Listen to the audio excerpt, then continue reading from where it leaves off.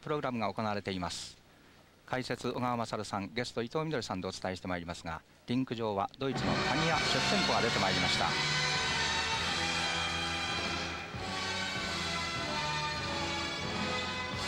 テクニカルプログラムは8つの要素与えられた要素をきっちりとクリアしないといけません。ジャンプが3つスピンが3つそしてステップが2つ。最初のジャンプです。まずダブルアクセルですね。はい。このダブルアクセルはきちっと2回飛ばなければいけないわけです。2回転で飛ばなければいけないわけですね。はい。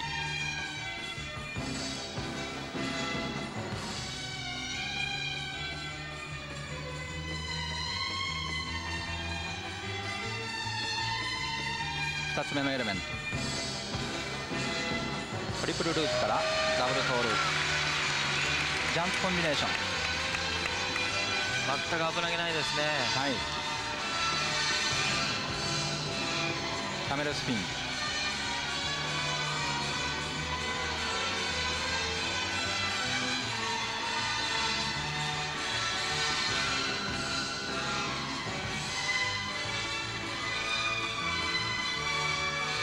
ステップからのダブルフリップですね、はい、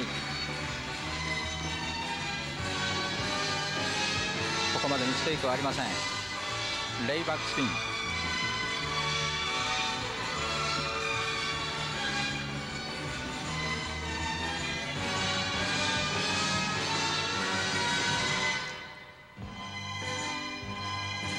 与えられた5つの課題をここまでクリアしました。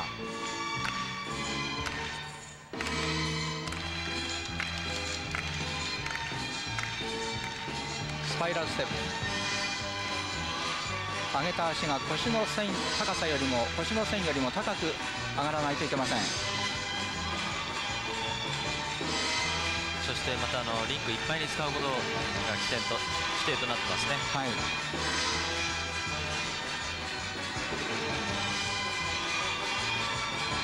スピンコンビネーションです。これは必ず片足ずつ5回以上回らなければいけません。はい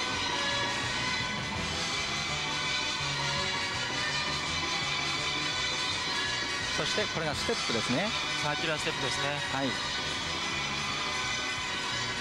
同じ方向のターンだけでなく逆の方向のねターンを入れてますね。はい。伊藤さんかなり細かいステップが入ってますね。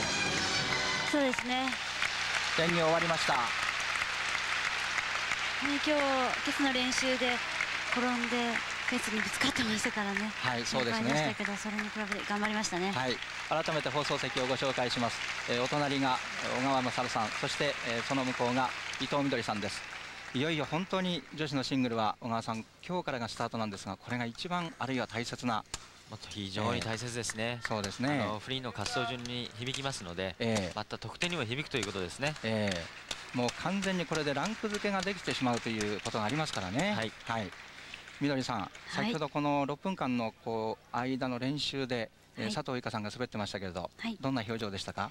そうですね。あのまあコンビネーションジャンプも確実に決まってましたのでね。ええでも。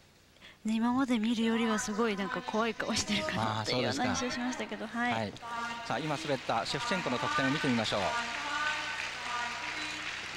リクワイアードエレメント与えられた要素に対する技術的な評価ということになりますが最高が5.5です。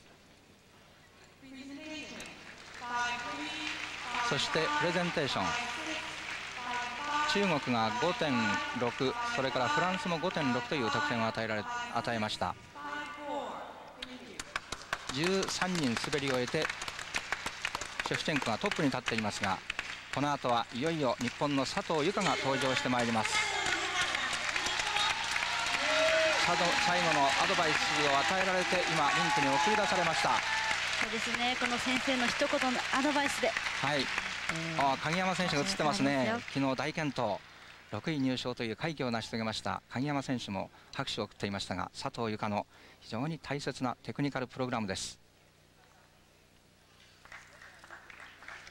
もう皆さんご承知のように陳路選手が怪我で欠場ということもありまして佐藤由香に対する期待が非常に大きく高まっています。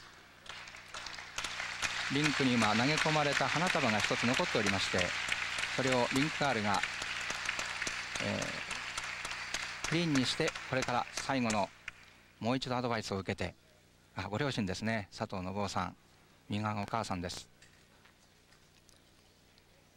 注目の佐藤由香のテクニカルプログラムが始まります。小川さんコンビネーションジャンプを何にするかかなり迷っていたようですがね。そうですね。6分間の練習ではトリプルルッツに挑戦してましたね。はい。思い切って難しい技に挑戦してもらいたい佐藤由香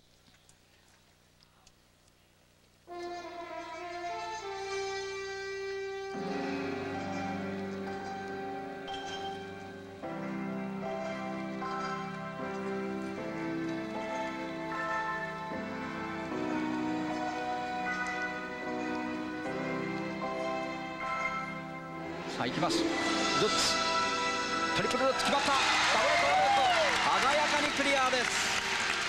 いやこれはいいですよ。ああ一気にみどりさん表情が和らぎましたね。そうですね。本当にきっとループにしようかルッツにしようかきっと悩んでたと思いますのでね、はい。えールッツにして、えー、よかったですね。はい。レイバックスピンにも定評があります。非常に美しいスピンでしたあとこれからはねええ。彼女の持ち味であるもうスムーズなスケーティングですね。そうですね。スケーティングはもう世界一天下一品です。ダブルアクセル。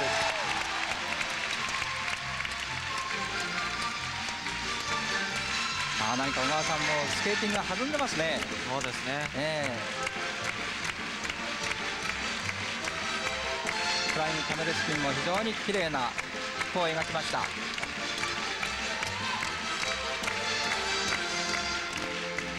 パイラルステップ。やはりこのスパイラルのですねはい。上げた足のつま先がピンと伸びてますね。非常に綺麗に見えますよね。はい。弾けるような明るさがこの佐藤由香の持ち味です。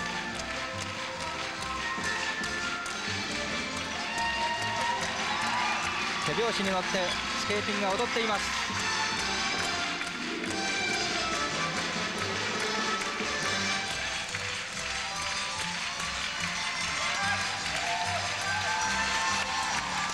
ステップからの。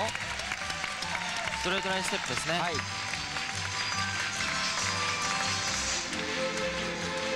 当に音楽をよく掴んでますよ。いいですね。レイバックスピン。バコンビネーションですか？コンビネーションスピンですね、はい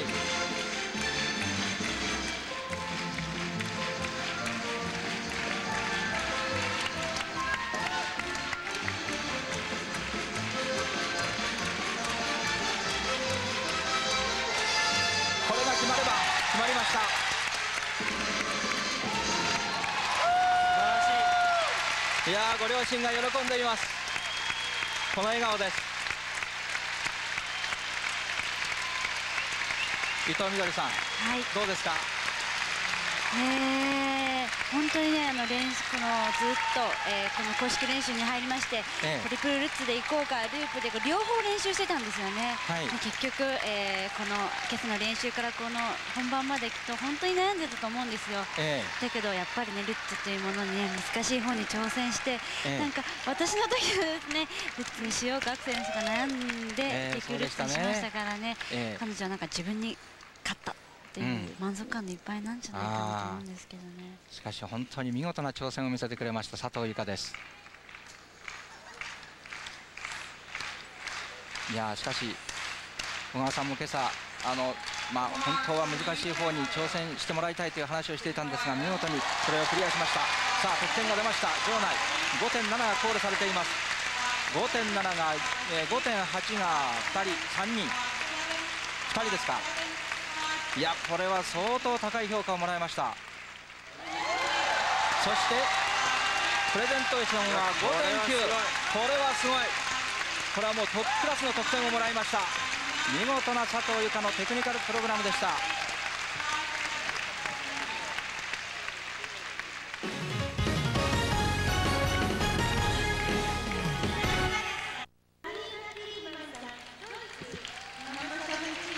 本の佐藤由香が素晴らしい演技を披露した後登場してまいりましたのはドイツのキールマンです。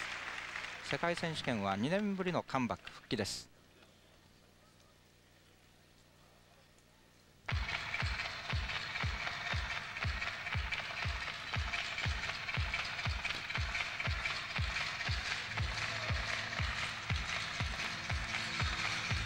最初はフライングキャメル。このスピンはあのきちっとキャメルポジションになってから6回回らなければいけません。はい。ジ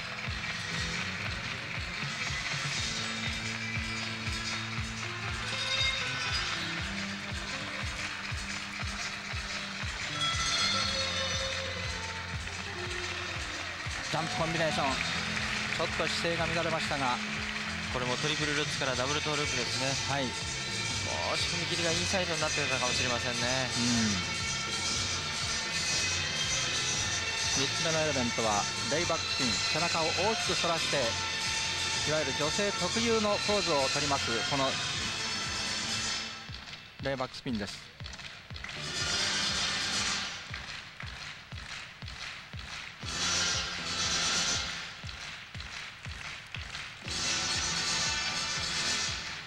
やはりコンビネーション決まるのと決まらないとじゃあもう精神的にこの後の滑りがもう心からこう滑れるという感じになりますからね。はい。それだけにあの最初のコンビネーションっていうのは価値が高いわけですよね。そうですね。本当に今女子でももうみんなトリプルルッツで来てますからね。はい。ステップが終わってダブルアクセル。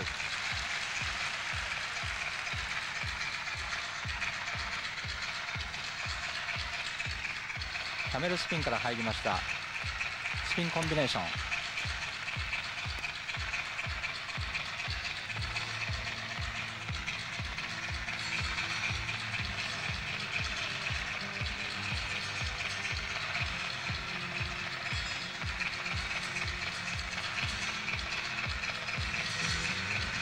男子のシングルのテクニカルと違ったところはレイバックスピンとこのスパイラルステップが男性にはないんですか？そうですね。それからあのステップからのソロジャンプですね。はい。で女性ではダブルですけどもええ。男性はトリプルが必須ですね。あそうですね。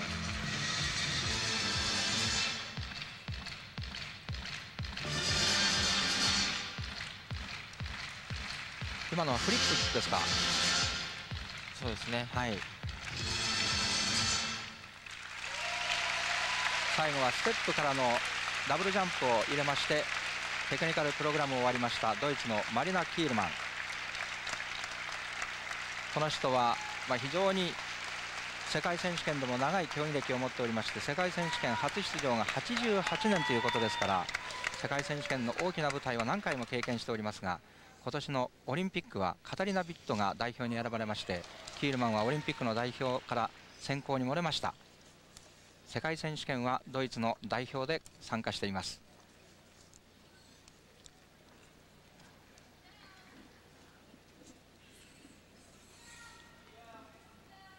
果たして、えー最初のコンビネーションジャンプのトリプルルッツからの着地ランディングがどういうふうに評価されてますか？それによって小川さんずいぶん採点が変わってくるんでしょ？そうですね。あの、えくらいののランディングでしたらはい。あまり点数には響かないと思いますけどあもそうですか。ジャンプとしてですねあまええ。り質がよくありませんので、えその辺であの基礎点が少し抑えられるかもしれませんえね。なるほど。でもやはり世界選手権何度も、ええ。ー経験してますからね。あの最初こちら公式練習入った時は本当にミスばっかりしてましたからね。えそうでしたえねー今日本番にはバッチリ決めてきましたね。はい。さあ得点が出ました。リクワイアードエレメンツ最高が5.45.4が2人です。やはりねトリプルルッツ飛んでこの点ですからね、えやはり基礎点がね少し低いんじゃないでしょうかね。えはい。プレゼンテーションもちょっとポイントが抑えられました。キールマンの演技が終わりました。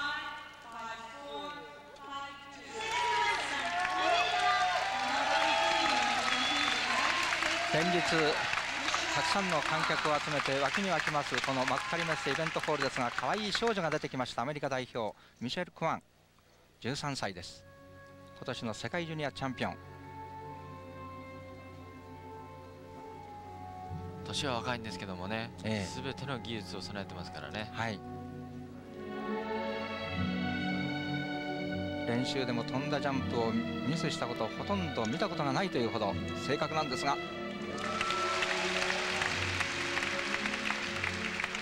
ダブルアクセル素晴らしい流れですね。はい。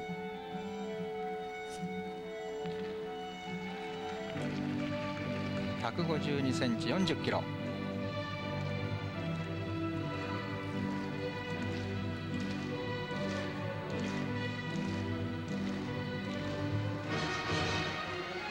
ルッツから入ります。あ転倒コンビネーションジャンプでしたが最初のトリプルルッツで転倒です。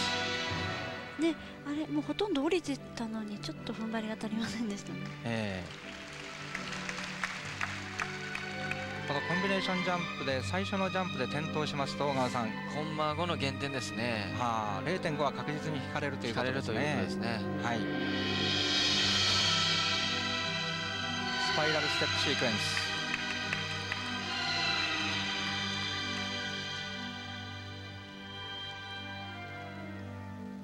藤さんクリスティ山口に何か印象が、はい似てますね。似てますね。はい。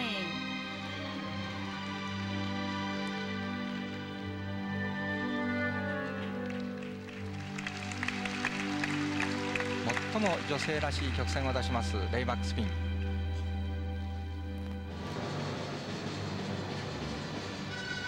ステップです。小川さんどうですか？は速いステップでいいですね。い。ステップからダブルフリップでしたね。はい。い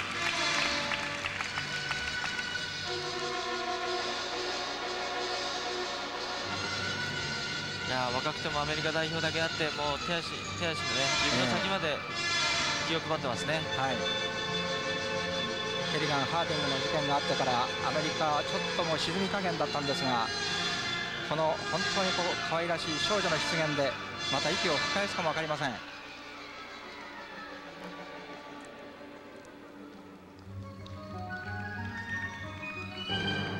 ピンコンビネーションでテクニカルプログラムを締めくくりました。13歳アメリカ代表のミシェル・クワンです。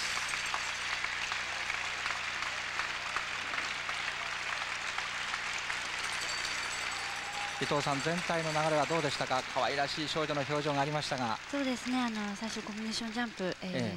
失敗してしまいましたけれどでもあとはね、ええ。あの若さあふれる、えー最後までのびのびと滑ってくれたような気がしますので、ええなんといっても小川さんこの可愛らしいまだほ本当にあどけない表情がねそうですね。印象に残りますね。初の世界の舞台ですからね。ええ。しかし伊藤さん堂々としてましたね。そうですね。えあのまあ、本当にジャンプもすごいんですけれど、ええ。ジャンプだけではなくこういう表現力も13歳にしては、うん、よく表現してるんじゃないかなっていう気がします、えークアンさんはこれが18人目の滑走なんですがここまで、えー日本の佐藤由香がトップです。その後に、えーシェフチェンコドイツそしてドイツのキールマンと、えー続いていますがクアンがどこまで得点を出しますか？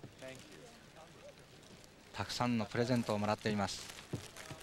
もうこの放送席にも隣に NBC アメリカの放送席があって時々遊びに来るんですが本当にあどけない表情でに、えー笑顔を振りまいています。得点が出ます。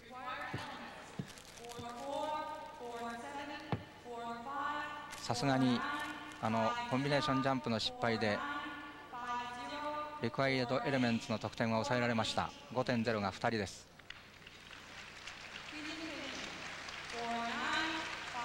プレゼンテーションはかなり上がりまして5点台が増えました、はい、ここまで終わってえーミシェル・クワンは8位につけていますテクニカルプログラム最終グループの演技が始まります。19番目スルヤ・ボナリーフランス。ここまで日本の佐藤由香がトップ。ドイツ勢が2人続いておりまして先ほどのミシェル・クワンは第8位につけています。佐藤対ボナリーの対戦と言われている女子シングルテクニカルプログラム。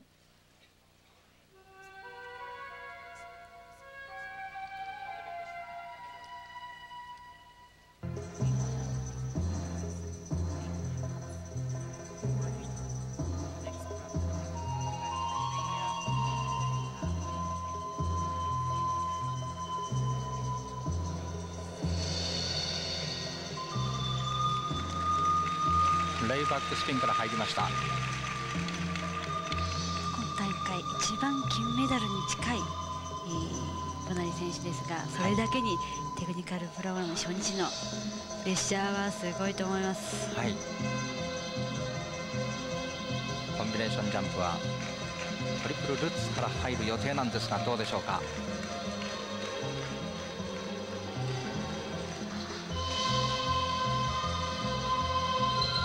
プルルッツダブルコール決まりました。非常に安定感のあるジャンプコンビネーション。もう高さといい完璧でしたね。はい。このジャンプお見事です。もう自信持ってやってますね。えやっぱりコンビネーション終わってからねもう全然動き変わりましたね。ー、はい。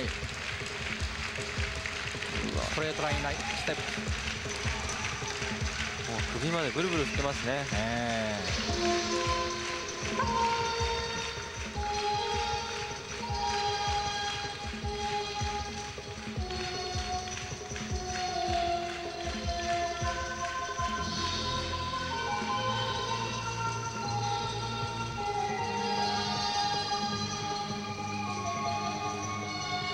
スパイラルステップも随分工夫しています。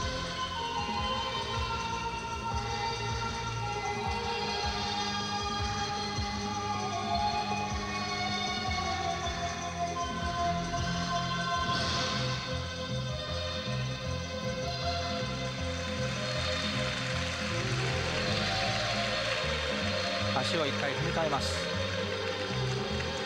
アップライトポジションシットポジション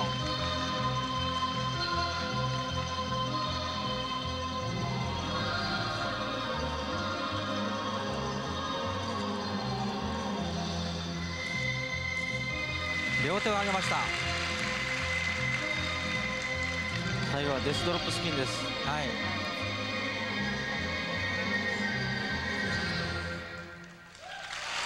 ダル最短距離フランスのスリア・ボナリー躍動感あふれるテクニカルプログラム終わりました。いやー練習ではねミスが結構目立ったんですけどさすがに本番では強いですね。強いですね。みどりさん全体の流れはどうでした？そうですね。あの本当にコンビネーション決まってからはあとはもうもう私に任せてというぐらい伸び伸びやってましたからね。はい。ほっとしてるんじゃないですかね、ええこれまでの小川さんテクニカルプログラムの中でも非常にこうよどみのない出来としては最高に近い出来だったん最高じゃないでしょうかに近かったんじゃないですかねはい。塔のつき方もまっすぐでしたああなるほど。回転もバッチリはい。とにかくあのファーストジャンプのランディングが非常に安定してましたから。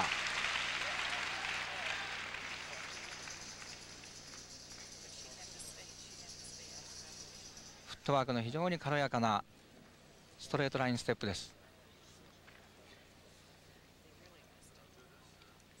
スピンコンビネーション。回転のスピードもありました。これは小川さん相当高得点が期待できる演技だったように思いますがね。ねさあどうでしょう？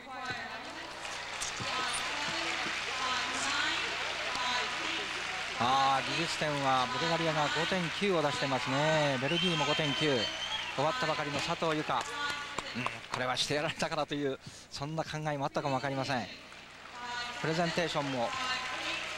あプレゼンテーションで5.9フランス。ベルギーも5.9これは相当高い得点でいい得点をもらいましたがしかし現在のところ佐藤由香がトップ。そしてボナリーが2位です。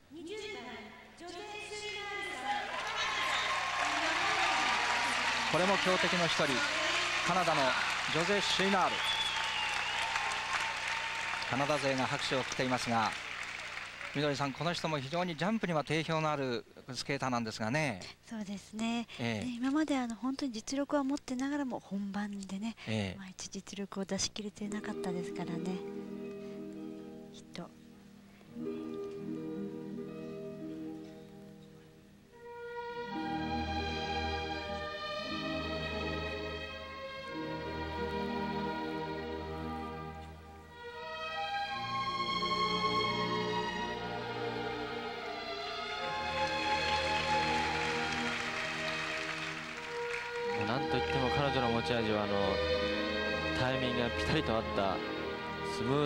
プですね。ね本当に性格が、えー心の優しい子だけあって本番は。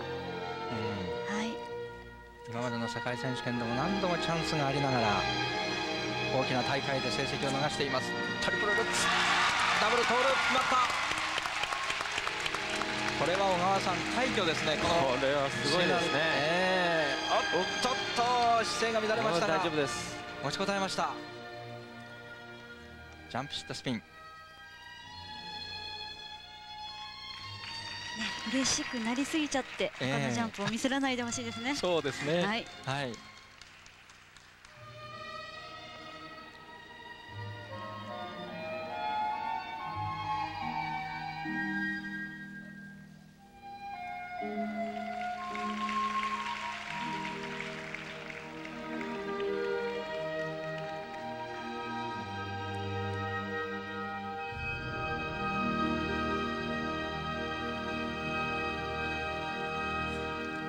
ダブルアクセル。さすがにジャンプに定評があるだけに非常に軸のしっかりした綺麗なダブルアクセルを見せました。非常に空中で回転が速いんですよね。ああそうですね。見てて気持ちいいですね。は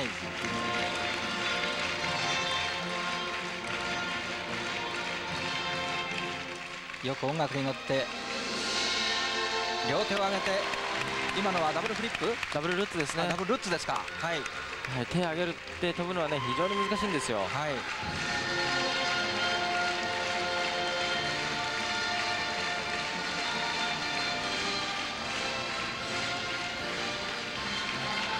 これはねわざわざステップをストレートラインじゃなくてサーペンタインに変えてきましたね。いわゆる S 字に滑るわけですね。そうですね。はい。スピンコンビネーション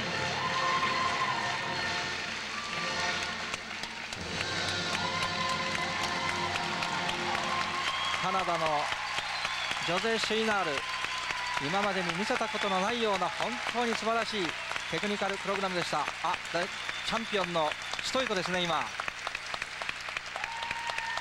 いやーこの笑顔です、これは素晴らしかったですね、え。ー佐藤由香さんも拍手を送っていますが。えー心情的には、えええ。ーゆかちゃんを応援してるんですけどね、ええ。やはりこれはねあのフェアプレーで、えーはい。どの選手も実力を出し切って戦ってええ。いることが大切なことですね。はい。これ小川さん評価としてはこの放送席から見ていた限りでは優劣つけがたいですね。そうですね。心配は悩んでると思いますよ。はい。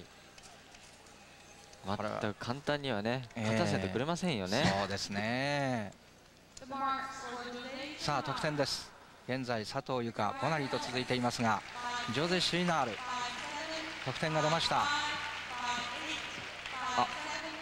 リクワイアードエレメントは5.7、5.8がありますが、うん、これですとプレゼンテーションが問題ですが、プレゼンテーションは5.8が並んでいますが、えーご覧のように下の小さな数字は順位点を表します3位がかなり多くなっておりましてジョゼ・シーナール現在3位です。佐藤依然としてトップ。ボナリーが2位です。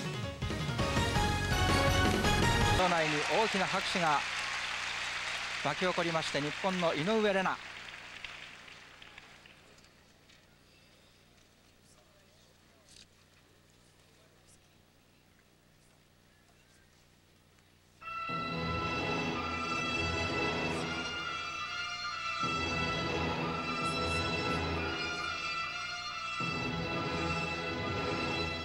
リレハンメルオリンピックに続いての大きな舞台世界選手権しかも地元幕張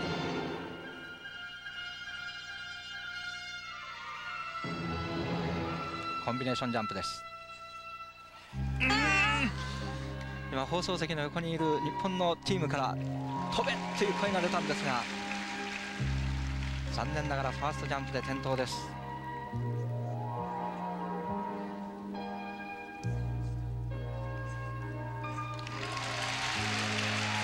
はいいですねダブルアクセル。はい。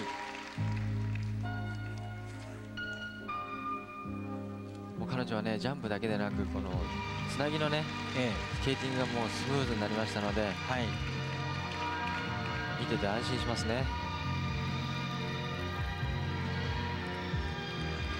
やはり基本となるこのスケーティングがしっかりしていないと演技の評価も高い得点は望めないんですが。スパイラルステップに入